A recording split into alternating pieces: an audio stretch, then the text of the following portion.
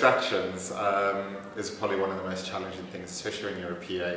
Um, you could be really busy with something, for instance, setting up um, a meeting with 20 other directors across the globe, trying to get all their PAs on the line, you've got to do it at a specific time, and someone will come up to your desk and say, can you print me 10 copies of this? Can you call so-and-so for me? Can you get this into this person's diary?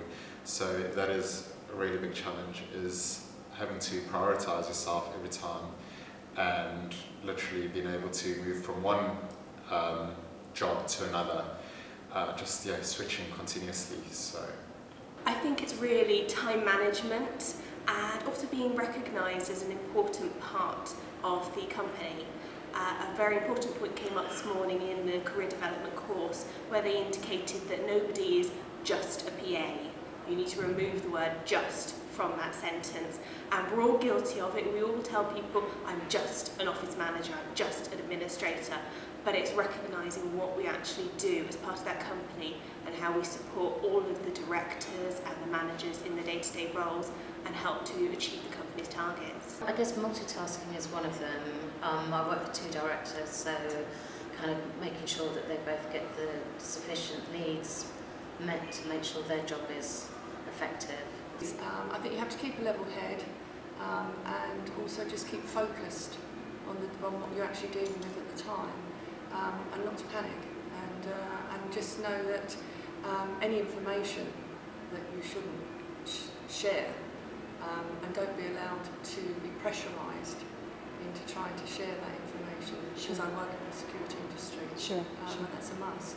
in my role particularly, uh, because I'm home-based, it can be difficult. Uh, you don't always get the office interaction, you don't always see what's going on. Uh, and as the Chief Executive's PA, it can be difficult to get that sense of the office atmosphere when you're not actually in an office.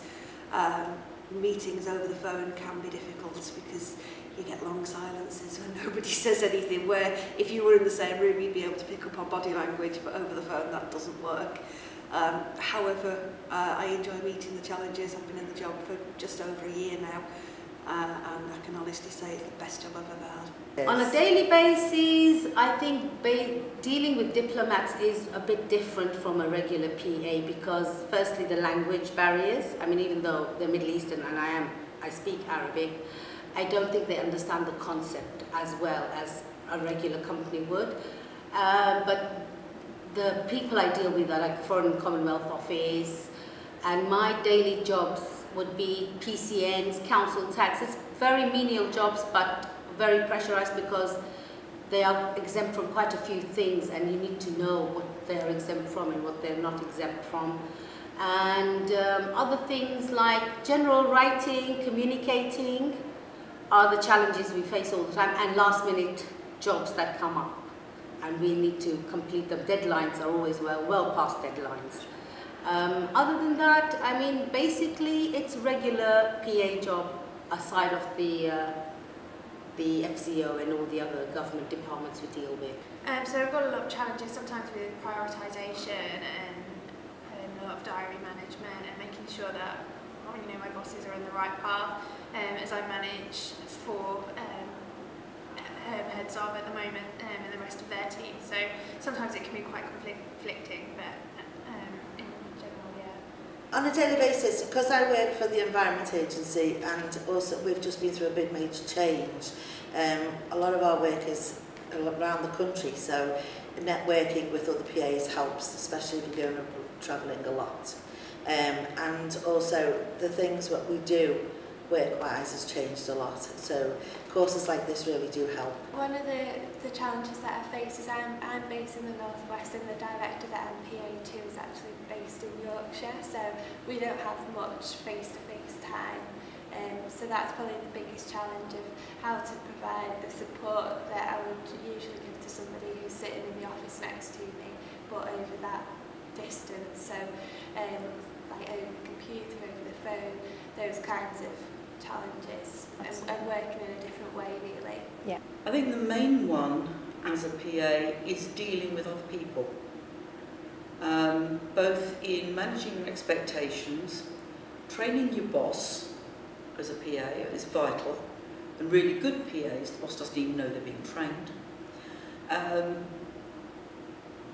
but people management, I think, is one of the most, is one of the best skills. That and communication.